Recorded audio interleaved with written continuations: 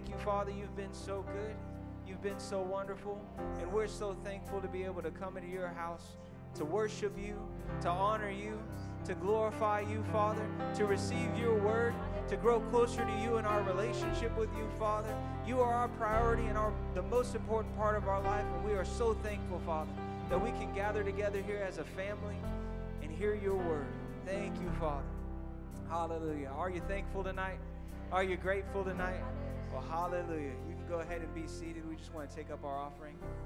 If you need an offering envelope, you can go ahead and raise your hand. The ushers are there to serve you. You can also give by text to give. You can bring it to the church. You can mail it in. There's a lot of ways to give. Praise God. Hallelujah. Don't want to take up too much time. We want to get our man of God up here so we can receive the word tonight. Amen. Hallelujah. Thank you, Lord. Praise you and glorify you, Father. Thank you, Father. Hallelujah. Praise God. Well, if you're ready tonight, let's go ahead and bow our heads and pray. Father, we thank you for this wonderful opportunity to be able to sow into your kingdom, to be able to sow into your vision and into your plan. We thank you, Father, for the wondrous things that you have in our future. The things that you have planned for this church, Father, for the people in this city. And we are so grateful, Father, that we get to sow towards that, that we get to give towards that, return our tithes, and give our offerings to you, Father, for your plan to come to pass in Jesus' mighty name. We're so thankful. We're so grateful for it. Let's say our confession. Hallelujah. Thank you, Father. Divine increase is moving upon this church family. It's moving upon me. It's moving upon my family. And we shall flow in the fullness of what that increase holds financial increase, numerical increase, the increase of anointing, the increase of healing, the increase of miracles, the increase of the gifts of the Spirit. Hallelujah. We thank you, Father. It's all coming to pass. In Jesus' mighty name, amen. Hallelujah. Hallelujah.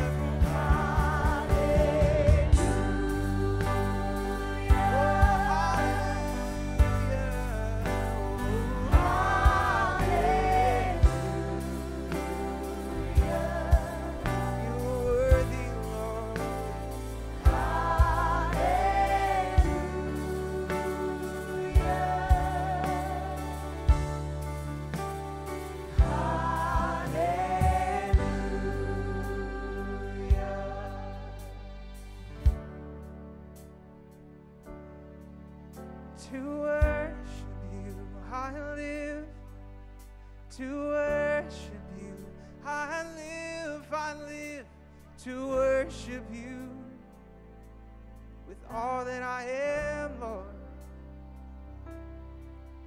To worship you, I live.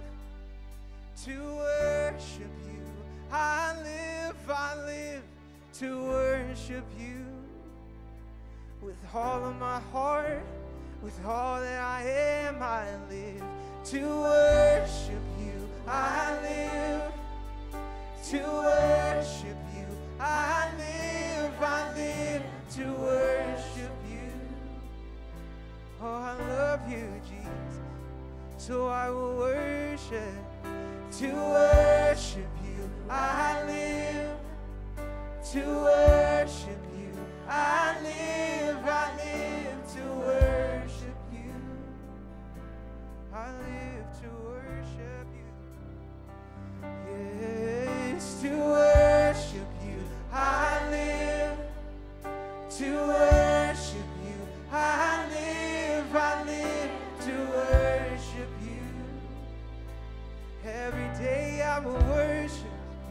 will praise you. To worship you, I live, yes I do. To worship you, I live, I live to worship you. I live to worship you. Father, we bless you tonight. Father, we do. We do live to worship you. And Lord, may our life be a life of worship, be a life of praise and worship to you. And the way we live our life every day on this planet, Father, may it be a life of worship. That our life is an example of your worship, submission to you, love to you. Father, we bless you, give you all the praise and all the glory. And everybody said, Amen. What a beautiful song. I live to worship Him. Amen. Let me all say that's my prayer. That's my heart. I live to worship Him. Praise the Lord. Well, turn around and give somebody a great big God bless you tonight. Thank you, team. It was great. Praise the Lord. Well, it's good to be here on this Sunday night. Amen. And we're uh, going to jump right into this we were talking about this morning. How many of y'all got some help this morning? Amen. Matthew chapter 24. We're going to go over there. This has kind of been our launching pad, so to speak. Matthew chapter 24. Father, we're grateful tonight to be able to come together in the name of Jesus to hear the word. We thank you, Lord, in these days that we live, that you're preparing us, you're helping us, you're instructing us, you're giving us instruction. And Lord, we endeavor to be led by the Holy Ghost. And so we thank you, Lord, that the instructions we get from your word, that we'll be prompt doers and we'll do your word. And we give you all the praise and glory. And Father, I pray tonight uh, for revelation to be revealed to all of us tonight, Father, that we truly see where we are in your timetable and really begin to live our life uh, that would reflect the time that we're living in. And so we thank you and honor you. We honor you as we approach your word. We're grateful to be able to hear your word. And we honor you tonight in this place. And everybody said, Amen. We're going to continue tonight from where we left off this morning, talking about the signs Jesus pointed to before the rapture of the church. And like I said this morning, when God gives prophecies or signs, uh, how many of y'all know it's for comforting uh, the believers? It brings comfort to us, but it also is a warning to the unbeliever. And so when we go through all these signs and we see all these things happening, you know, in the earth today, it shouldn't produce fear in us or worry or anxiety. It should cause us to be excited and comfort us knowing that we're, we're the rapture of the church is imminent. It is about ready to happen at any moment. Amen. I don't know when it's going to happen. I just know it's going to happen soon. Based on all the signs and based on what he's telling us, amen, we know that it's upon us. And I think the most important thing that you and I need to get a hold of is that we live that way. that our life should reflect what we think is getting ready to happen. You know, if I really believe that Jesus is ready, is, is going to come, then my life, the way I make decisions, the way I live my life, the decisions that I make, how I live should reflect that. Like I said this morning, how you respond to prophecy is how you respond. If you really believe it's something that Jesus is endeavoring to get over to you right now, He's endeavoring to get something over to us that we need to prepare, that we need to be ready. Yes, Amen. Amen. And you may say, Well, I'm ready to go, Pastor. Well, praise the Lord. How many of y'all know your neighbor probably isn't? How many of y'all know someone in your family may not be? So you may be ready to go, and that's wonderful. But how many of y'all know there's a whole lot more that we can pray about and pray for people and help other people come to Christ before this great event takes place? And so, all these different signs that we're talking about, these are signs that are happening right now that point to the coming of our Lord and Savior Jesus Christ. Amen. So, they should bring excitement to us. Now, the first 10 we've already talked about. I'm going to go through them real quickly, and then we'll get into the last part. Matthew chapter 24, and we're going to see what Jesus says here in verse 3. And it says, And he sat upon the Mount of Olives. The disciples came unto him privately, saying, Tell us, when shall these things be, and what shall be the sign of thy coming? How many are grateful that he gave us signs? Amen. How many thankful for signs?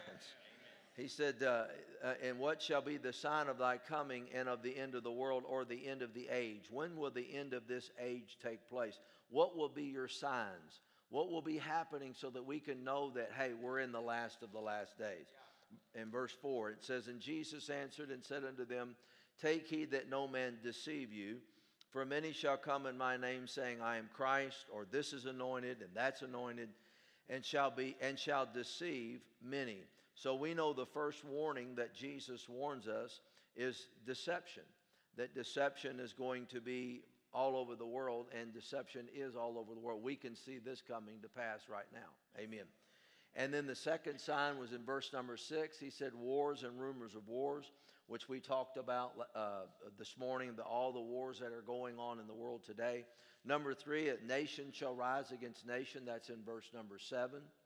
And then uh, it talks about uh, famine. And we talked a little bit about that this morning that the famine that's just blanketing the earth right now, you're not hearing a lot about it, but you're going to hear more about it. And, uh, and even today, I was sent an article. I was sent an article today by somebody that said uh, that 75% of the U.S. winter, winter wheat suffers drought.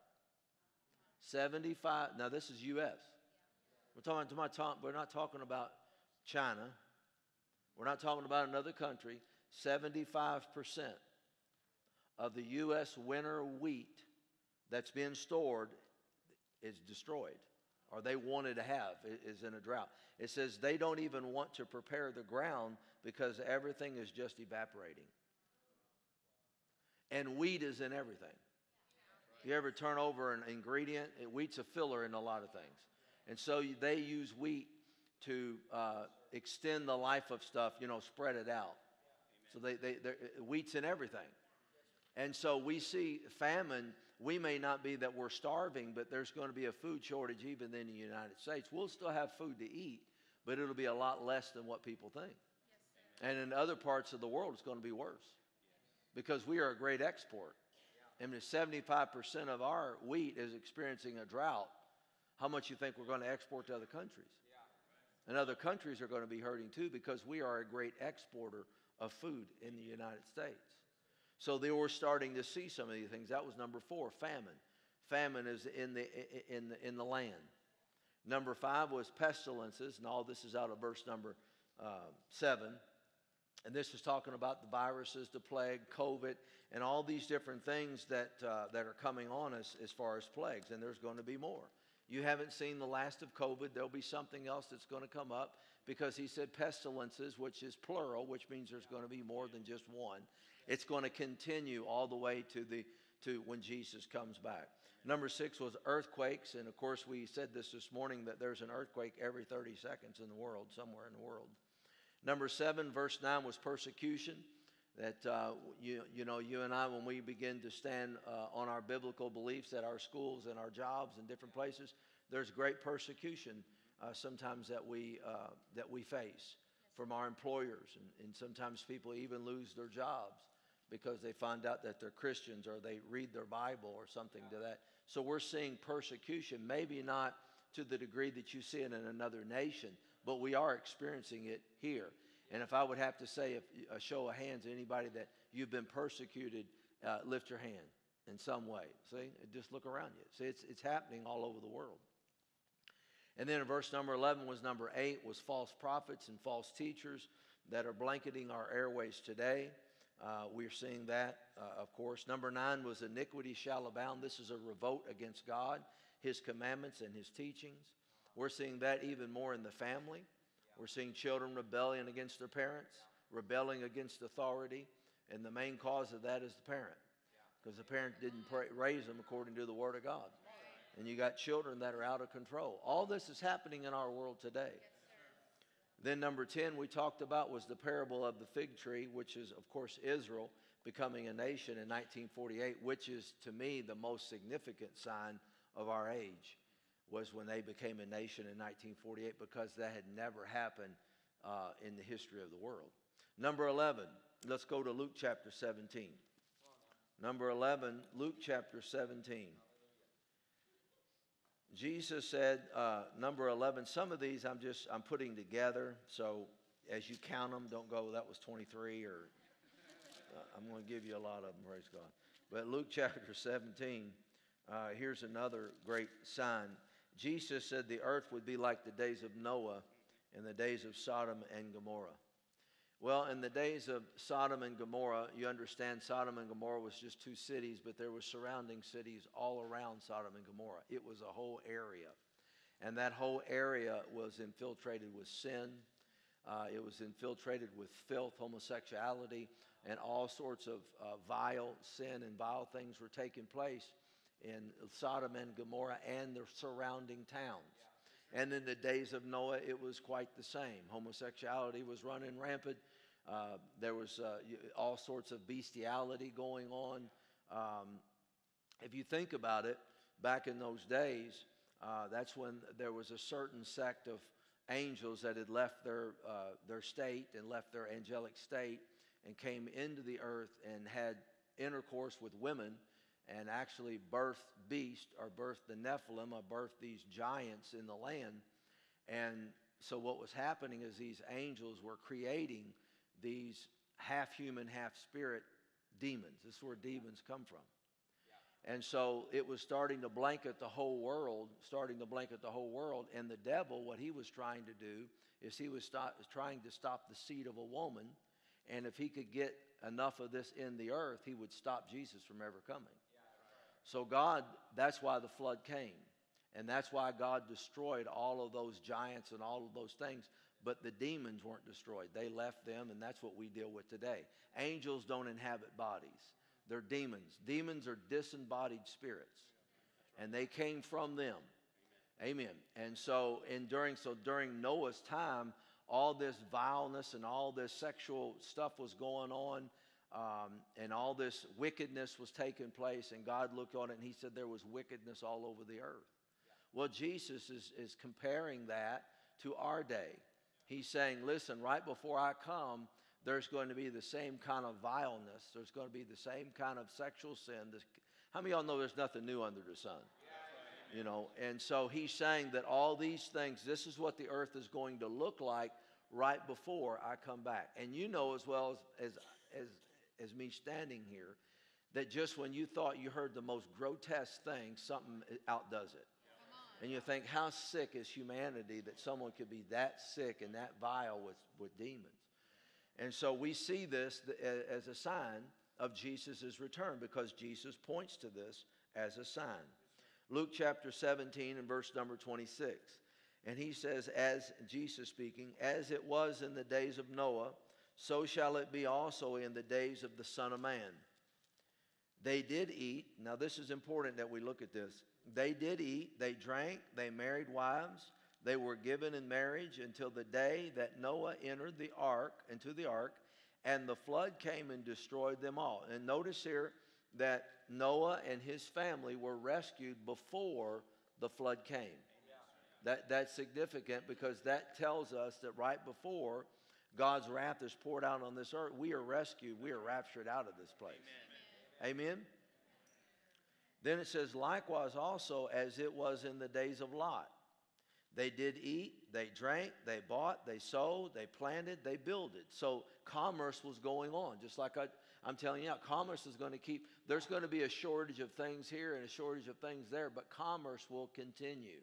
Are you with me? We're not going to be in a place where we all have to gather food and go in the hills and go hide out with our guns and beanie weenies.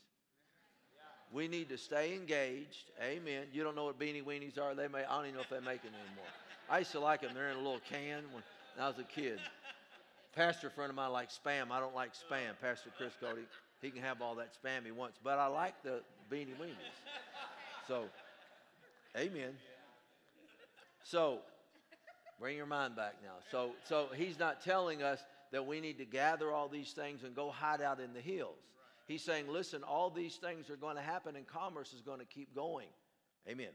But the same day, listen to this, but the same day that Lot went out of Sodom, it rained fire and brimstone from heaven and he and and destroyed them all. But remember when Sodom got out, when Sodom got or excuse me, when Lot got out of Sodom, then everything took place. So there was a, again a rescue prior to the wrath. Even thus shall it be. Now listen to this. Even thus shall it be in the day when the Son of Man is revealed. So he says, just like all this was going on, it'll be that way when the Son of Man is revealed. All these things are going to happen. How many y'all would agree we're living there now?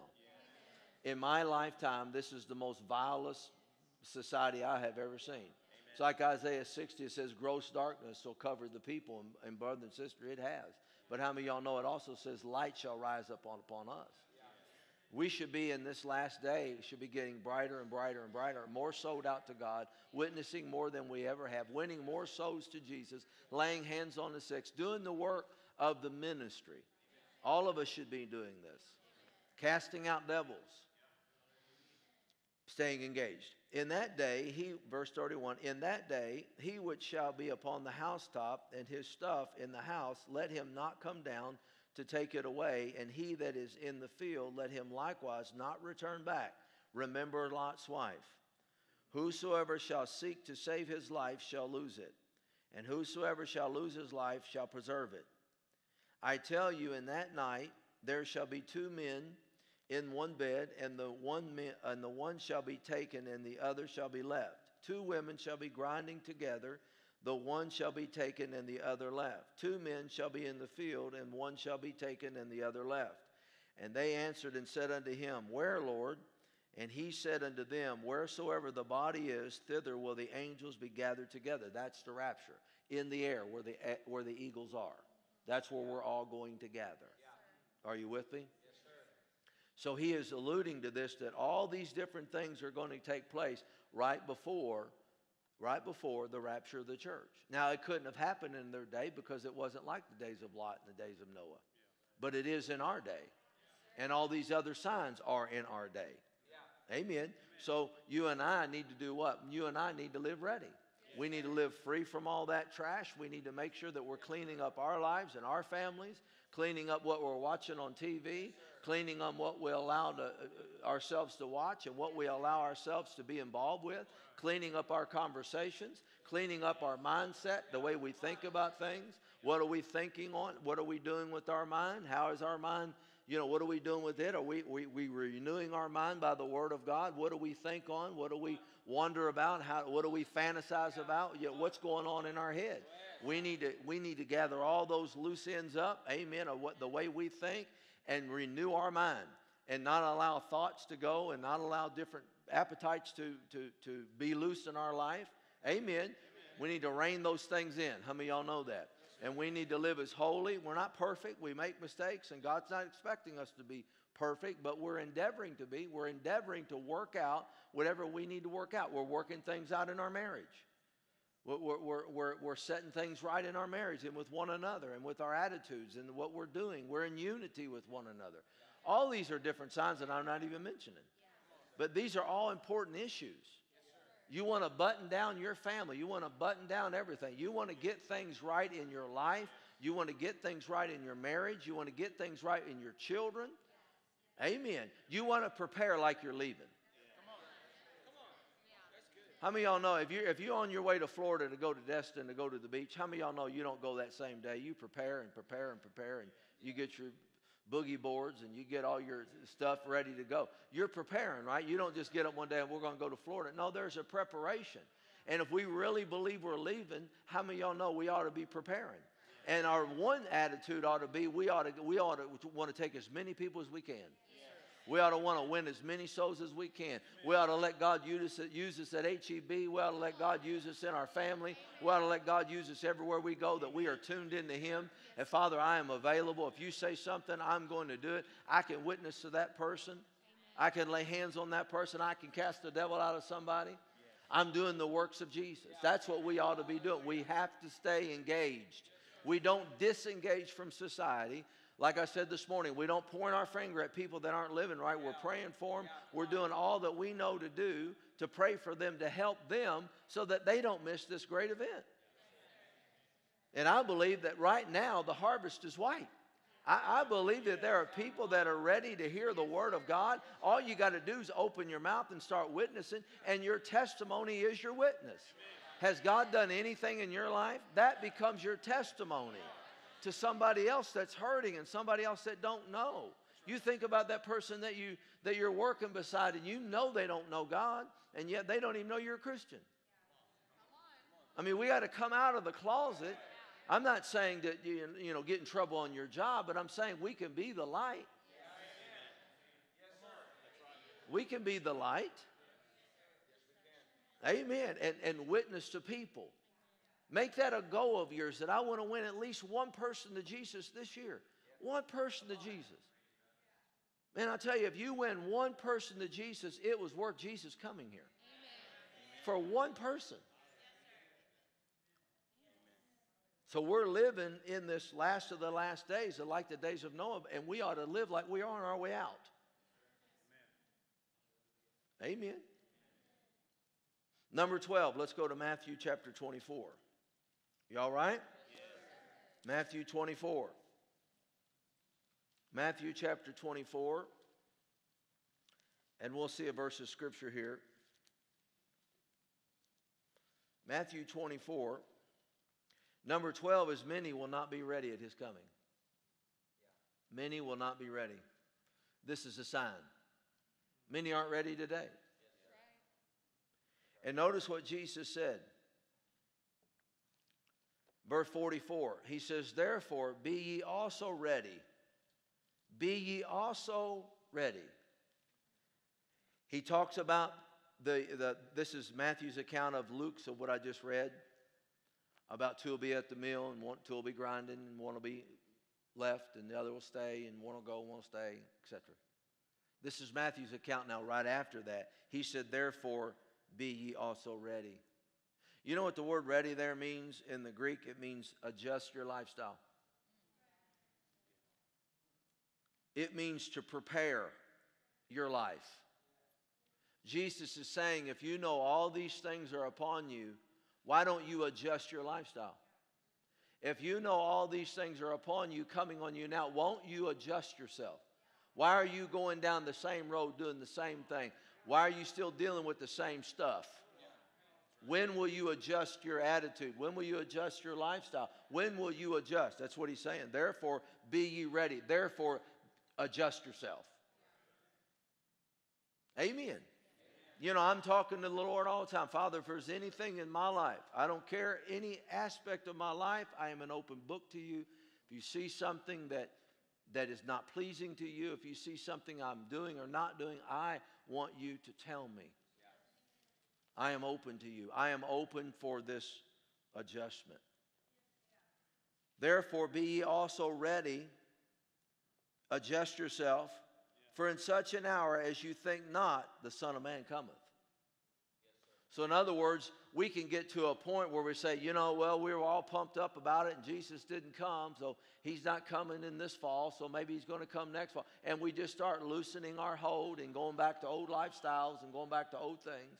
There are certain things in my life I'll never go back to. Never going back there. I'm never going to live that way no more. I'm never going to be that way no more. I've turned the page on that.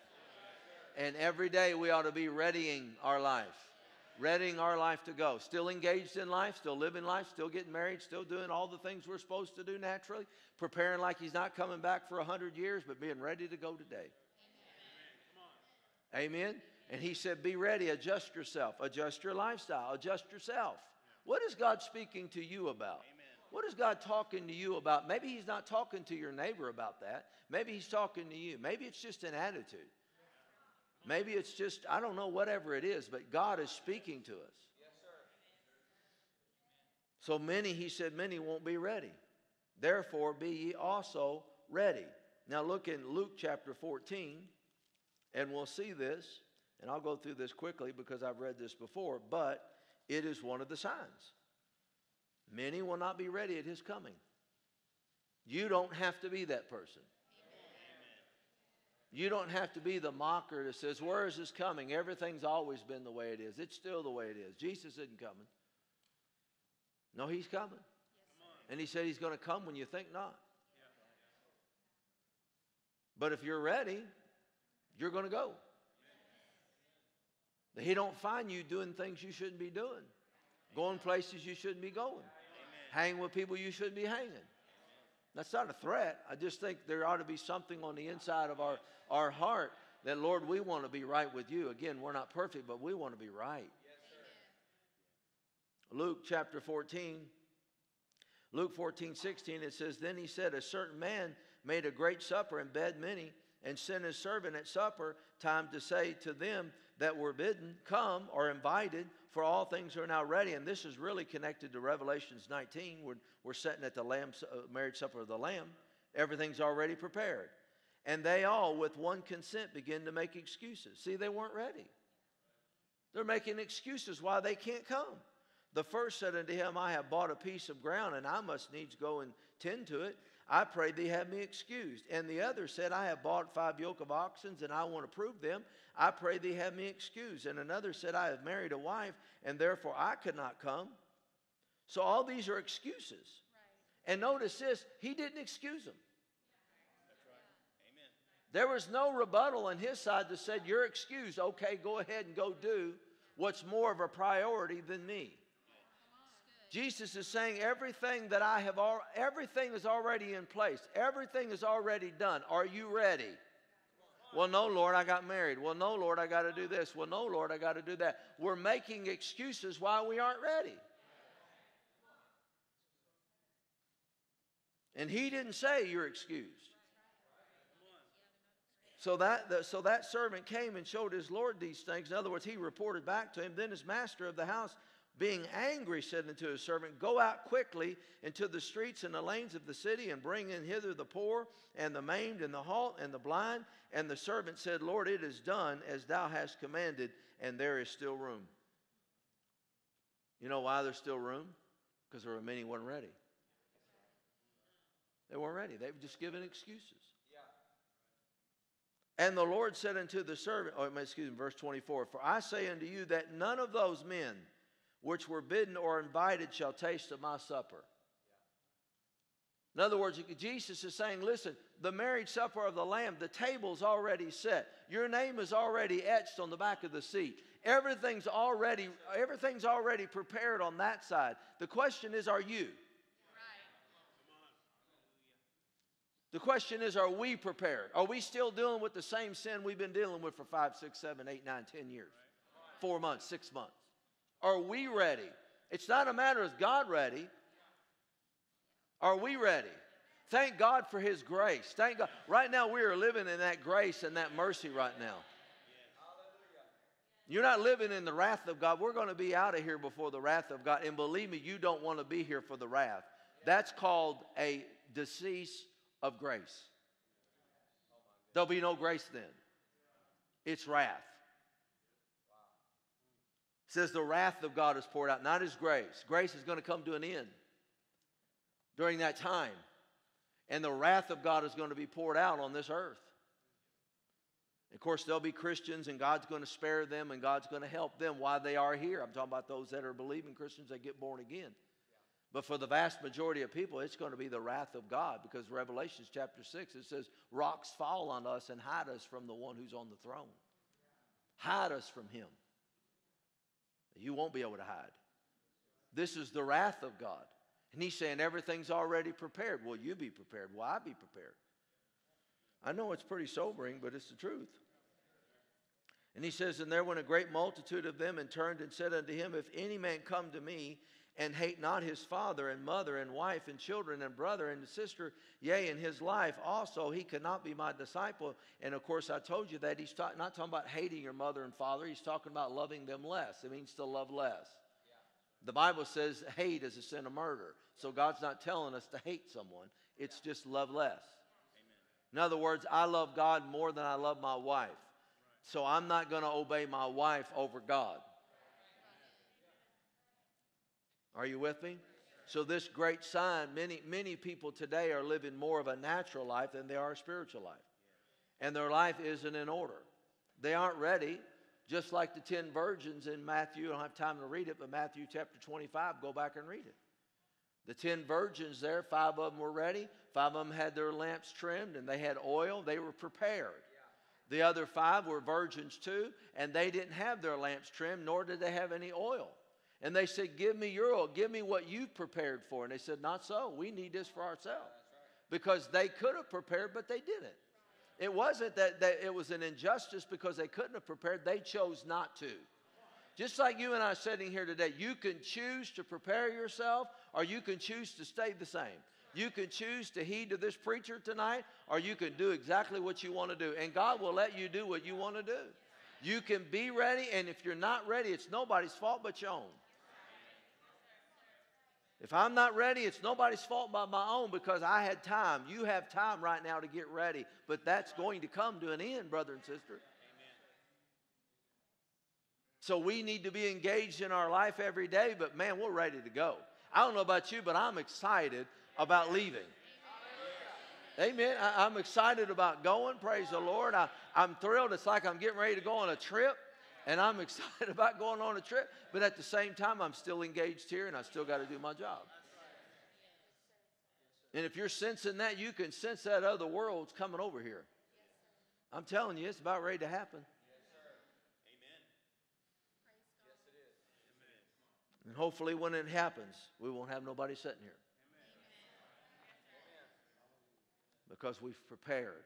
That we're not like the five virgins that could have prepared but didn't. We're not like these people that just give excuses. Well, I got my job. Well, I got my career. I got my 401k. I've got my investments. I've got my family. I've got my children. I've got my career. I've got my job. I've got my houses. I got my stuff. I got all this stuff. I can't do that. I just can't seem to find time to do it. See, this is excuses. So this 12th uh, sign, number 12, is they're not going to be ready. Many people aren't going to be ready. And I didn't say they're going to hell. That's between them and God. But I think a lot of people that are on the fence, once the rapture of the church takes place, they're going to be all in. They're going to realize they missed it. That this wasn't just a fairy tale. That this wasn't just a preacher with hot air preaching. That this event actually took place and it took place in my life. So many won't be ready. Jesus said that. 25 uh, in Matthew 25, 10, or, 10 virgins, five are ready, five are not, which means half the church will be ready and half the church won't be. Number 13, there will be a great apostasy, a great departing from the truth. We'll briefly mention this because we've taught this in the past, but it's one of the signs that we're seeing right now. Remember, all these signs we're seeing. And he said, This is just the beginning of sorrows. Can you imagine this is just the beginning of sorrows? And then right after that, the, the rapture of the church takes place, and all of a sudden, the seven seals, God releases all seven seals, one of them at a time.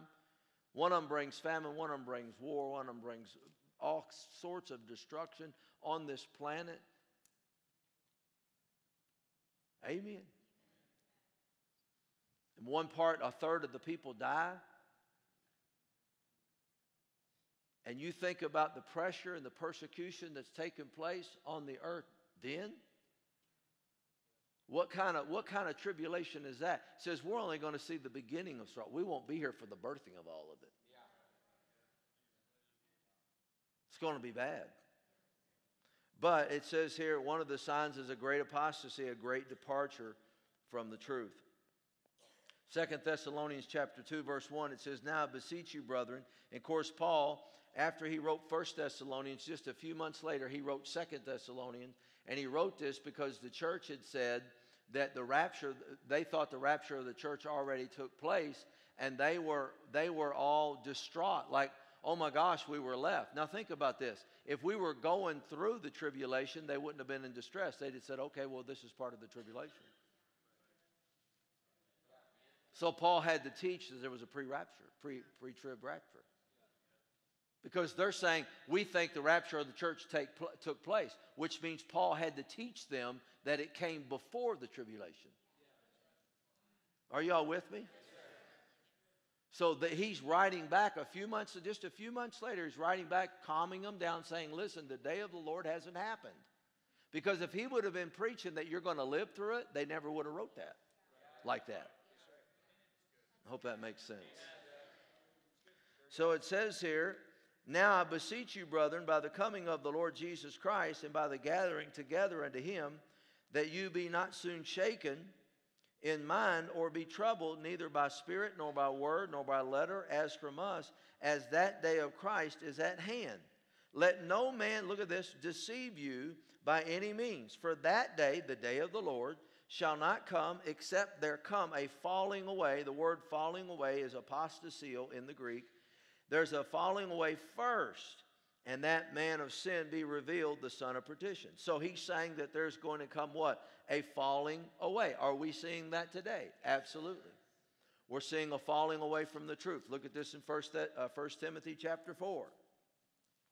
1 Timothy chapter 4 verse 1 it says now the spirit speaketh expressingly that in the latter times some shall depart from the faith giving heed to seducing spirits and doctrines of devils. I've seen this even in our own church where people just completely up in what they believe and walk away from it. So this is happening there is a great apostasy taking place right now all over the planet.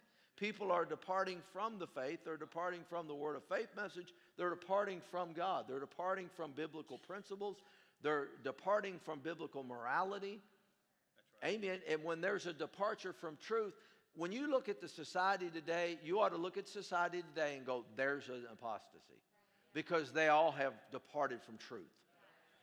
We don't rate, not us, but the world don't raise their family in biblical principles no more. Why? There's an apostasy. There's a going away from truth. They do it the way they want to do it. Nobody's going to tell me how to live. Nobody's going to tell me what to do. We have a society that is anti God, it is an anti Christ society. Not, not the whole part. I mean, we still have Christians that are here, but I mean, by and large, you see it in the media, you see it on TV, you see it in the movies, you see every part of society that's visible is, is really a rejection of God. It's a rejection of His Word, it's a rejection of His principles. It is a disobedient, rebellious society. And when you don't raise your kids the way you're supposed to raise them according to the Word, you're in rebellion against God. You're not doing it the way God wants you to do it. And it can be so subtle too that you take upon your way of doing things, how to get off on this family stuff, but it's good. You take upon your way of doing things because you think it's the right way and it's against the Word of God, you are moving away from Scripture. You're moving away from the character of God. My wife and I, when we raised our girls, we said, we're going to do it the way the Word of God said. What the Word of God said, that's what we're going to do. We're going to whip their behinds. We're not going to beat them. We're going to whip them with the rod. We're going to do what God tells, tells us to do. We weren't perfect, but the Word of God is the final authority. Well, what's happening in our world today? There's a great apostasy, there's a great leaving from, from biblical truth. If you tried to say that, I know Brother Doug is a teacher back here. If he tried to say that in his school, they'd probably fire him. That you wanted to talk about biblical things and you wanted to do something scriptural. It's just everywhere. It's in every part of our society that somehow that you are weird, that you're strange, and they persecute you and they, you're an outcast. Amen. And that's part of the persecution that we talked about a little bit this morning that we're experiencing too. But there's a great apostasy, a going away. Well, we don't need a pastor. We can do that at home. Well, Jesus didn't say that. There's so many things that we adopt, and not that people are bad, they adopt it and they're realizing they're going against the truth. They're going against the principles. They're going against what the Word of God says. And sometimes we can be, praise the Lord, sometimes we can be in darkness and do it so long and not even realize it. Until somebody points it out to us that there's a veil over our eyes that we don't even see that we're cursing. We don't even see that we don't get a hold of our mouth right. We don't see that drinking's not right. We don't see that going to rated R movies are wrong. We don't see that I can sit there and eat popcorn and, and watch some naked person on TV and, and, and watch, a, you know, trash and we go pay money for all that. We don't see that. See, something is wrong. There is a departure from truth. Earlier, I had a lot of people going like this. I don't see that very much now. That's all right. I'm telling you the truth.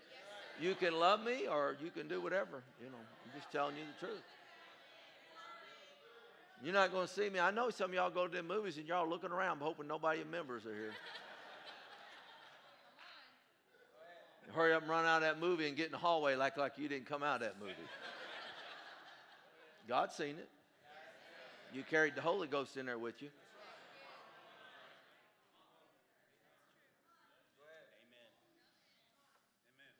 And I know people call me extreme. People call people call that stance extreme. They call that stance uh, that stance is out of touch. Pastor, you don't want us to have fun. Listen, when I was in the world, I'd done all the drinking and all the running around that I wanted to do. And when I got saved, I wanted to get rid of all that garbage. I'm not trying to see how much of the world I can carry with me to heaven. Because you can't carry none of it with you. I'm not interested in how much can I keep of the world, how much can I keep of God, and still have all of it. No, it's either one or the other, brother and sister. He's either Lord of all or Lord, and he's not Lord at all. And you're not going to see Jesus walking in that theater with you. Would he sit there and watch that? Would he watch that in the privacy of your home when nobody's there? The Holy Ghost is there. God sees all that. What's happening? There's a moving away from truth, there's a moving away from biblical standards. Uncleanness. Watching television programs that demean parents, that demean government, that demean authority. Just telling you the truth. This is all over the planet. My kids that are rebellious against God, they can't even hold jobs down when they get older. Can't take any correction. Out of control.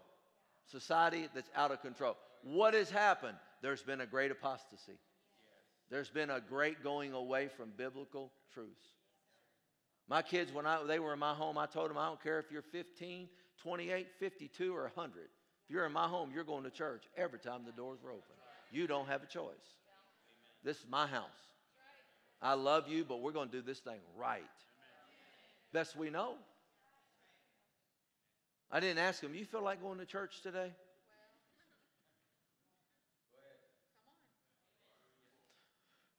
All righty. That went over good. I'm just telling you. So, no, we're going to church. Get in the car. We get to go to church. Like Pastor Angie said, we, we get to pray. We, we get to do these things. It is an honor. It's an honor. So you see this in society now, a complete departure from the truth. And there's a thing now that they say, whatever your truth is, that's your truth. You can have your truth.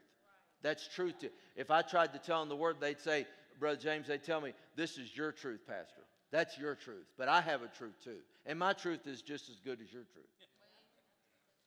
See, that's what they say. They're trying to hold to a deception, and it's caused them to depart. Well, you know, okay, praise the Lord. Number 14, artificial intelligence is another sign in the ability. I know artificial intelligence, not just robots, artificial intelligence all started with tracking human beings and the computer systems and everything that we have now. Now, this is a sign. we have ability right now to track every human being, track all your behaviors, track where you go. Now they even have a system set up that people don't even know about. They have a system set up for the Antichrist when he comes in that you can only have a certain amount of gasoline, a certain amount of food, and your car will shut off. So they're going to select how much gas you can use a week, how much food you can get a week. They're going to control everything. This is another sign because the intelligence is here. Most of you think you got control over things, but they watch everything that you do. Revelations chapter 13, look at this. Revelations chapter 13. Now, I'm not saying you have to throw your cell phone away and, you know, act nutty. But I'm just telling you, I'm bringing this out to tell you of the intelligence that is out there and the capability that I only know a very minimal. Dr. Ash would probably know a whole lot more than me in that area, but the capability out there is there, is present, and far beyond anything I, I probably would know. Re- but we're going to look at this.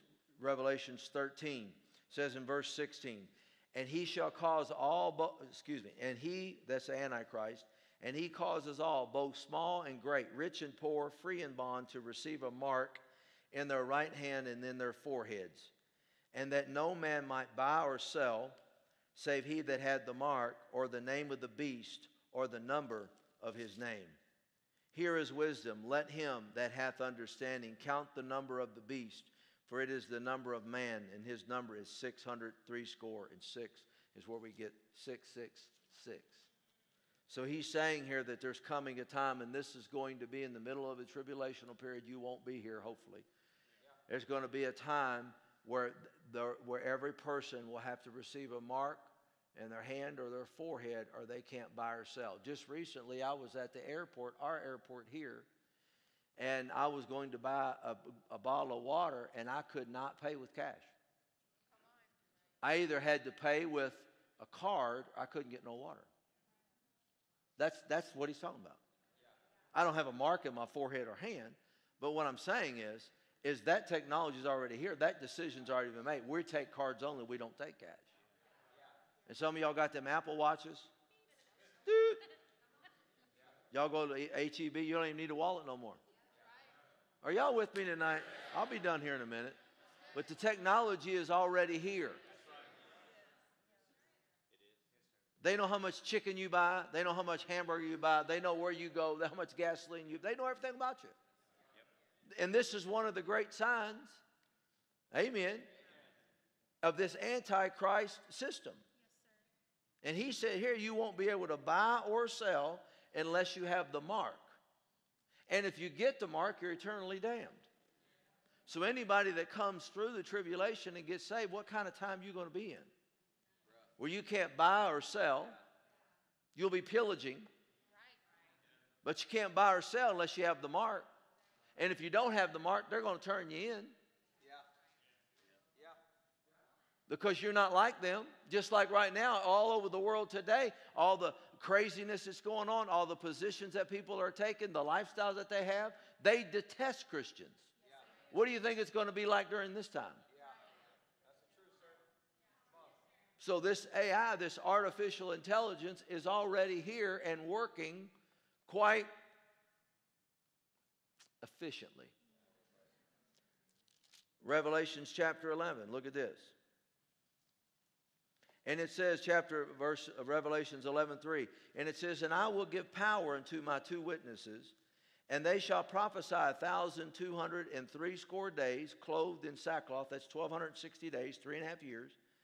These are the two olive trees and the two candlesticks standing before God of the earth. These are the two witnesses that are preaching the word of God all over.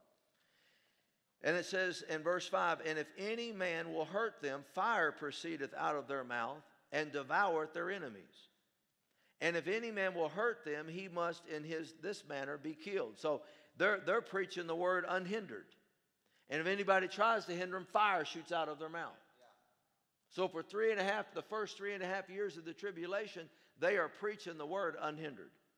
These have power to shut heaven, that it rain not in the days of the prophecy, And they have power over waters to turn them to blood. Look what they can do. And to smite the earth with all plagues as often as they will. And when they shall have finished their testimony, three and a half years, the beast that ascended out of the bottomless pit shall make war against them and shall overcome them and kill them. And their, bo- and their dead bodies shall lie in the street of the great city, which spiritually is called Sodom and Egypt, where also our Lord was crucified. And they of the people and kindred and tongues and nations shall see their bodies three days and a half, and shall not suffer their dead bodies to be put in graves. And they that dwell upon the earth shall rejoice over them. Look at that. Someone's dead in the street. People would do that right now.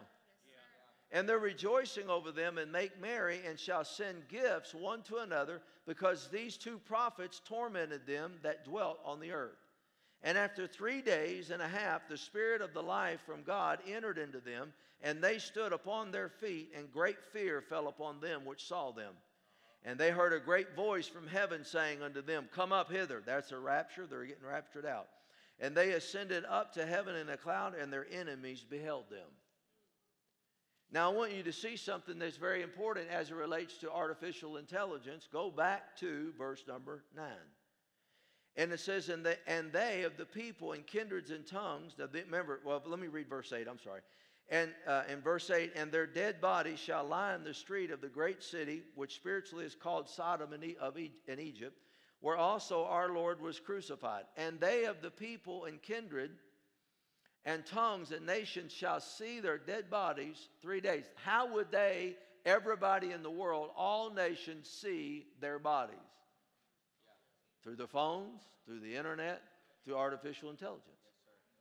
No other time in history could that have taken place. So everybody is watching these people get killed on TV or on their phone or on a camera of some sort. This is where we are today. I'm going to go a little bit longer if that's okay. So, in this situation here, you won't be able to buy, you won't be able to sell. All the, the point is, is the technology is in the earth. That's what I want you to see. That's a sign that the technology is in the earth. Number 15 and 16 is really one the same. It's in Daniel chapter, I won't turn there for lack of time. Daniel chapter 7, read it later, verse 25, and Daniel chapter 12, verse 1. And it talks about Daniel chapter 7, verse 25, that the Antichrist will, bring great stress and great mental pressure on people. That's a sign. He will seek to change the laws and the times. That's Daniel 7:25. He will bring mental stress. Daniel 12:1 talks about and there'll be great anguish like there never has been nor ever will be. These are signs people are under great stress today. They're under great anxiety today. They're under great anguish today. They're being attacked mentally more than they ever have in their life. This is a sign. It's not just because, you know, um, we have a devil crazy. It, it is part of that, but it's a sign too of this mental pressure that's coming against people all over the planet. That's why you got to take the time to renew your mind, to feed on the Word of God, and counter that with the Word. And not allow yourself, I'm under no mental stress, no mental anguish whatsoever. And I buried my daughter two months ago. But I give God all the glory and all the praise. I didn't say I didn't hurt. I didn't say that there weren't times in my day and that, that I have challenges. But I'm under no mental stress where I'm stressed out mentally and can't function. And I give God the glory for that because without Him, I wouldn't be where I'm at. But it's His Spirit living in me, and it's His love and His help and His support that's helping me and my family and all of us. We're a family, move forward out of it. This is supernatural. We're getting on the other side of this. But in, just in the natural, there's so much stress on people's lives. It's part of this, part of the signs. That's 15 and 16. Number 17, they're forming right now and have been for quite some time a one world government. Revelations chapter 13. Look at this. Are y'all okay? Revelations chapter, this ought to thrill you, not get you in fear. Amen. Unless you're not right, then you can just run to the altar. Revelations 13, and it says in verse 5 And there was given unto him a mouth speaking great things and blasphemies, and power was given unto him to continue forty and two months, three and a half years. And he opened his mouth and blasphemed against God, to blaspheme his name and his tabernacle and them that dwell in heaven. And it was given unto him to make war with the saints and to overcome them. And the power was given over to all, excuse me, and, and power was given him over all kindreds and tongues and, look at this, nations. And all that dwell upon the earth shall worship him, whose names are not written in the book of life of the Lamb slain from the foundation of the world. This is a one world government where it says right here, all nations will worship him. So there's coming a time when there will be a one world order. They've been talking about it for 20 years. And they're working behind the scenes to make this happen. They're working on a one world currency, and it's going to be an electronic currency. The dollar eventually will go away. It'll all be electronic, and they're working on it behind the scenes. And this is being formed as we speak. Amen. There, there are meetings being held behind the scene to achieve one world domination. How do we do this? Amen. And this was really, this one world government, this control, was really demonstrated during COVID. That was a test. Can we mask them? How long can we mask them? I'm not saying that wearing a mask didn't help, so don't, don't, I'm not being negative on that. I'm just saying we were willing to do whatever they told us to do because of fear. The whole world was wearing them. And then if you weren't wearing them, everybody in the store let you know you weren't wearing them.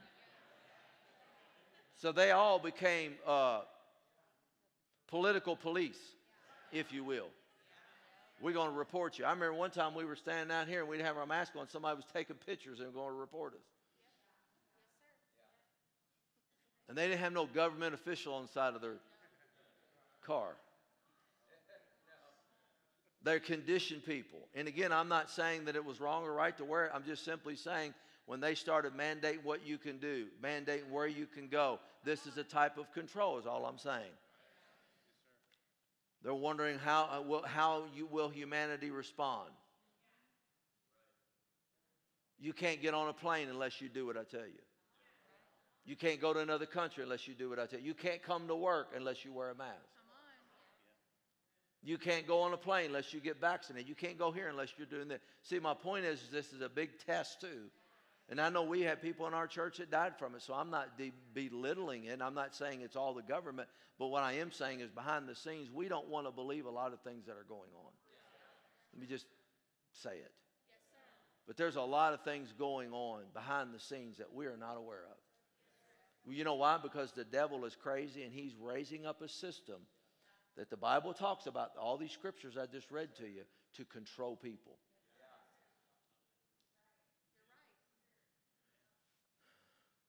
Well, hallelujah. Amen. And this is a whole thing to see. The government want to know how you was going to respond.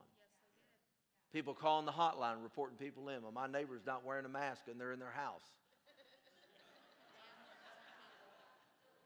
You need to be wearing. I looked through your window. You weren't wearing a mask in your house. Some of them still wear them in the car, and there ain't nobody in there but them.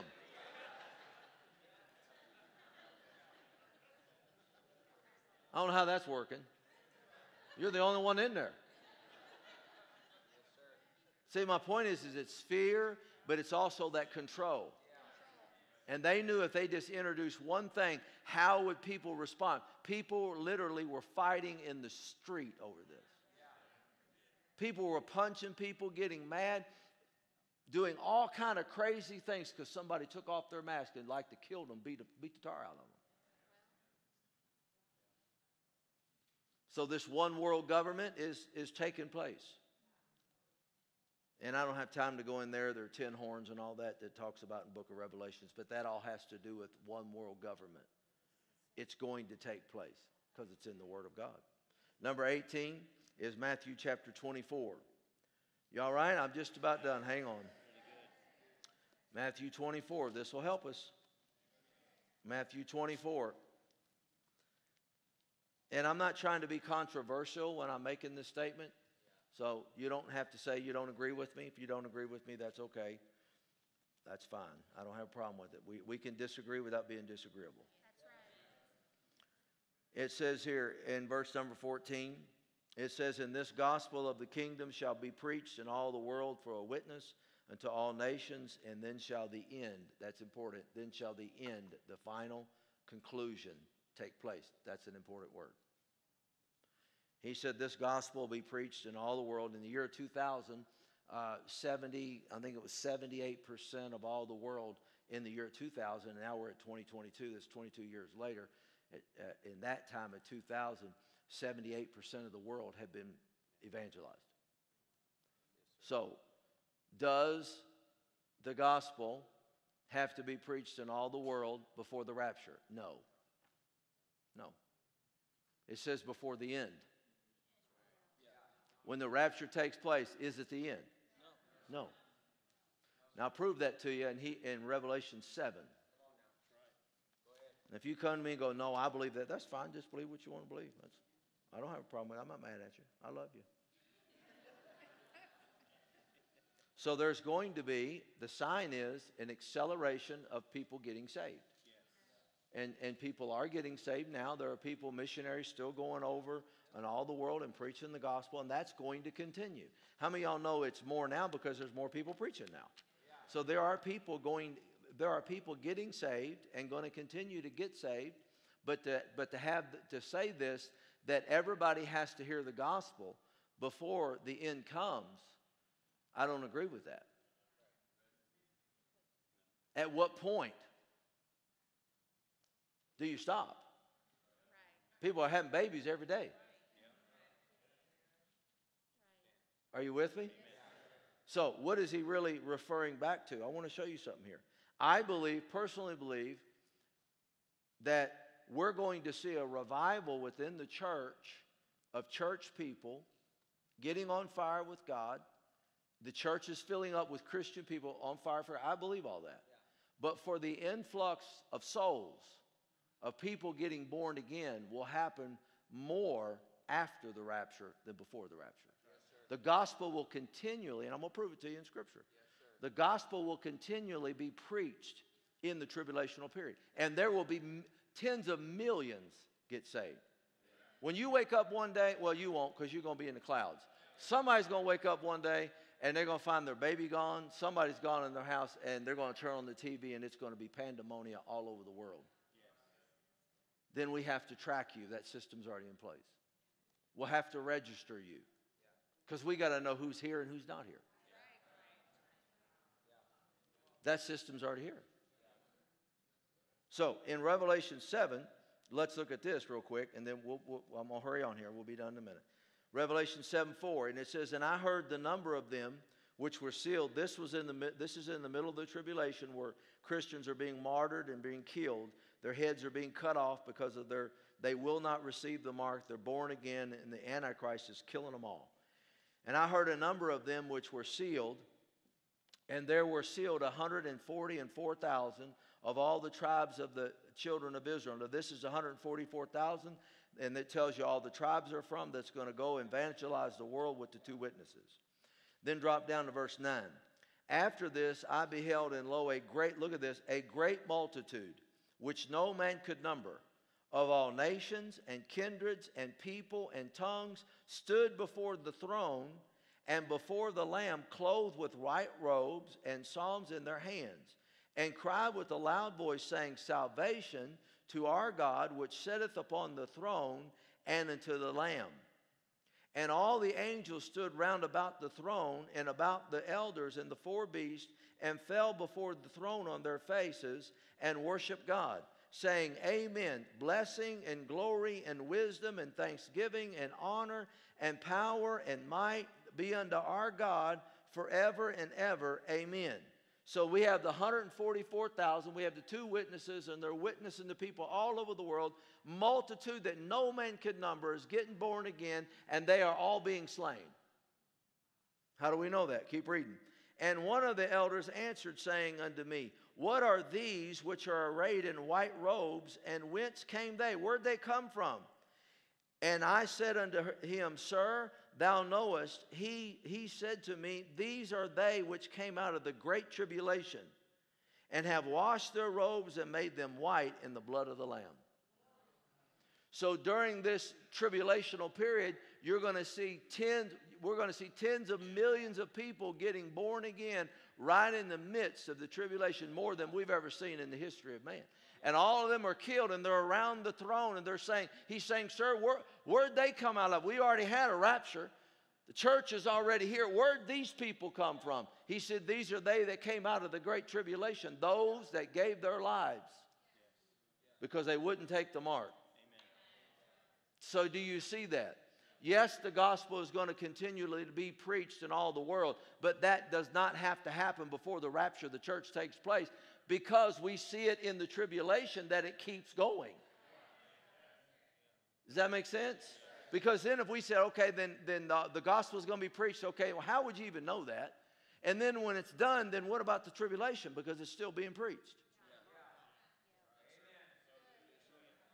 So during this time, this there's going to be worldwide evangelism for 42 months.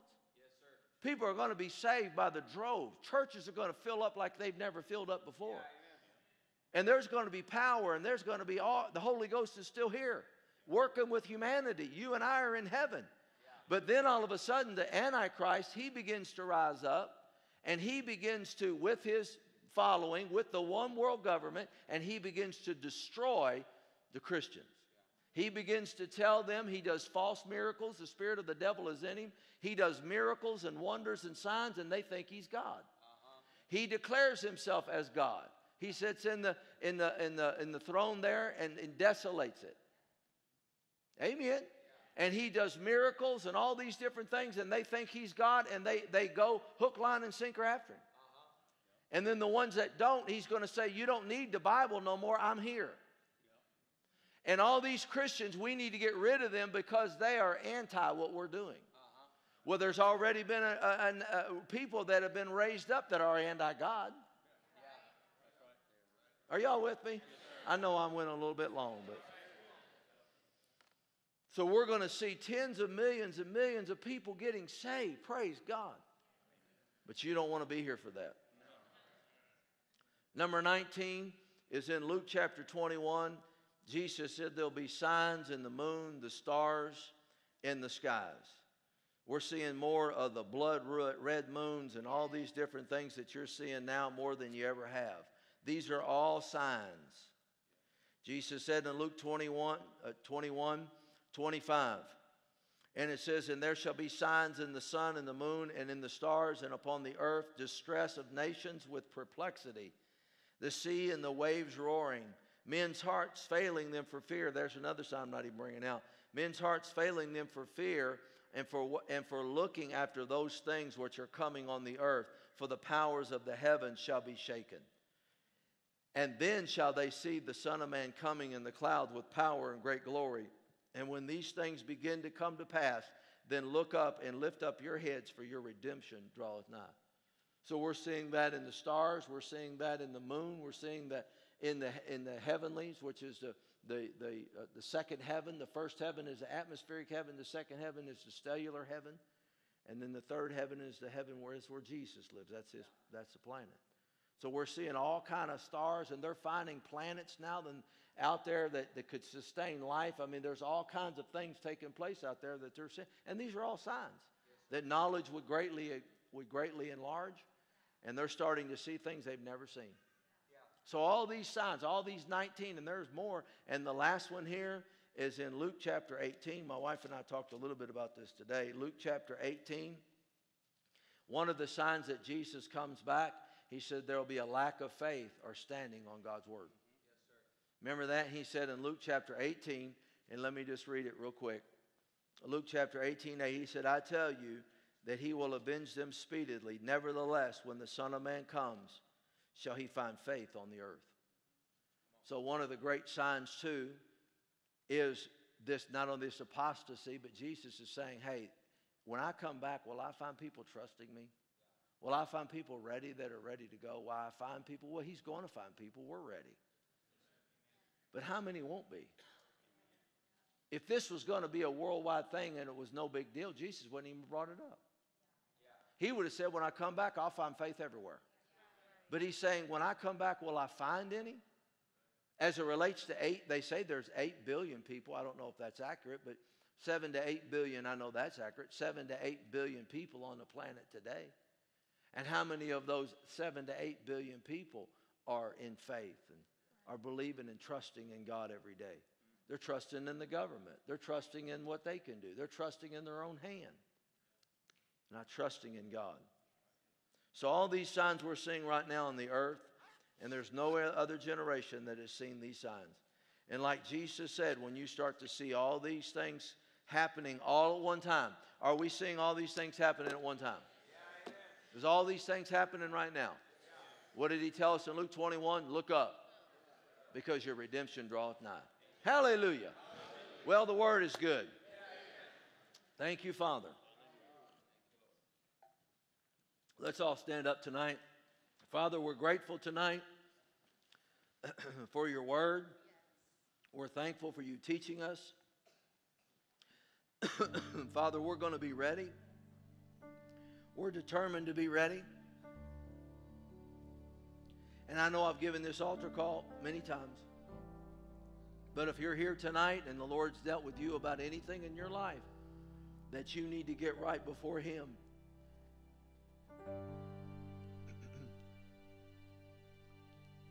and you're not right with God, and you know you're not right with God, you can get right with God right now. All you got to do is come up here in Jesus' name and let me lead you through a prayer of repentance and getting your life right with God. Jesus said, I stand at the door and knock. He won't knock the door down of your heart. Like Pastor Angie said this morning, you have to be willing out of the heart. God's not, Jesus not wanting to control you. He loves you. He loves you. But it's got to be a heart connection. Anybody need to make that decision tonight? Praise the Lord. Just want to make sure. Praise the Lord. Thank you, Father. Thank you, Jesus. Thank you, Lord. You know, we don't discourage any of the children. Never discourage any of the children. Sometimes we go, well, they're fine. But yeah, they are. But you know what? You, you, you, you let them follow their heart. Let them follow their heart. Because that's important. Because if you let them follow their heart at this age, when they get your age, it'll be a lot easier. You know, because if a child senses something, you know, Jesus, when he was 12 years old, his mother was kind of distraught about it. And she said, Where are you? And they didn't even notice they were with him. And he come back, he said, Didn't you know I was about my father's business? He was in the house of God at 12. And most people say, Well, they don't know what they do. Well, if, if something is prompting them to come, it's the Holy Ghost. You may say, Yeah, but I'm a great parent. I didn't say you weren't. I'm just telling you, sometimes children just want to respond. And we encourage that. Right? We encourage that. Praise the Lord. Anybody else need to come? Praise God. I think this is great. I think this is great. Now, all you children that are up here, Jesus' name, Jesus loves you, and you're just a bigger child. Praise the Lord. Amen. And I'm just I just want to pray this prayer. And you all pray this prayer with me, okay? We're going to pray just a prayer of dedication. But here's what I want to tell you. Okay, listen real careful. Anytime you mess up, we all mess up. But whenever you mess up, all you have to do is say, Father, please forgive me. And you know what? He forgives you, and you never have to be back up here. Does that make sense? So just because you mess up, don't mean you got to come back up every time. Does that make? And I'm not saying you're doing that. I am. I'm, I, I'm glad you're here. Does that make sense? But if you do mess up, you don't have to wait till church comes and pastor gives an altar call, right? You can just say, Father, forgive me, and He forgives you. Amen. So I want you all to pray this prayer with me. I want you to say, Heavenly Father, I come to you in Jesus' name. And Father God, I give my life to you, wholeheartedly to you. And I thank you, Lord, in Jesus' name for being my Savior. And I ask you to forgive me of anything I've done wrong. I dedicate myself to you. I love you, Jesus. You are my Savior. You are my Lord. And I thank you for it. I believe that Jesus died for me on the cross. And I believe that he rose from the grave. And I accept Jesus as my Lord and as my Savior. Thank you, Jesus, for saving me and loving me helping me. In Jesus' name. Amen. Father, bless these children. Bless these children in the name of Jesus. Be blessed, honey. Be blessed. I just think it's amazing how these kids came up. Be blessed, honey. Be blessed in the name of Jesus. Be blessed in the name of Jesus. Be blessed in the name of Jesus. A good receiver. Be blessed in the name of Jesus. I just think that's awesome to have children to have a tender heart towards God. I think it's awesome. Praise the Lord. And if you're their parent, just say, hey, and you can teach them that, hey, if you mess up, sweetheart, we all do, just say, Lord, I just repent right now in the name of Jesus. Amen. Teach them that. Because we all mess up. Amen. Big kids or little kids? You have something? Oh, okay. Praise the Lord. Looked like you did. Praise the Lord. Well, did you get some help out of these 20 signs? We got 62 more signs. No, I'm just kidding. I just, I'm just kidding. You say, my God, Pastor, 20's enough. Well, you know, I'm just trying to help. I love you. Father, we bless you people tonight. We thank you, Lord, for the angels of God carry us safe to our destination. I call your people blessed. And Father, we are committed to you. And Father, we're committed that if there are things in our life that, that are not pleasing to you or adjustments we need to make, we'll willingly adjust our life to you. We love you and bless you. I call this church blessed. And I thank you, Lord, for what you're doing in this church in the mighty name of Jesus. Before you leave, how many of y'all are more excited since we've been talking about this? How many of y'all just sense there's something getting ready to happen? Amen. Well, go tell somebody about it. Amen. And, uh, and, and we'll see you on Wednesday night. Be blessed. We love you. Angels of God go with you. Turn to two or three people, give them a great big God bless you, and you are dismissed.